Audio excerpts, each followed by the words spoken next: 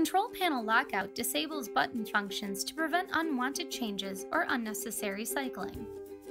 We've heard Control Panel Lockout is especially convenient if you have small children who love pressing buttons. Whatever the reason, it's easy to do. Press and hold the reset button for about 5 seconds to enter or exit Control Panel Lockout. The blue light will blink to confirm status. The litter robot functions normally in automatic mode during Control Panel Lockout.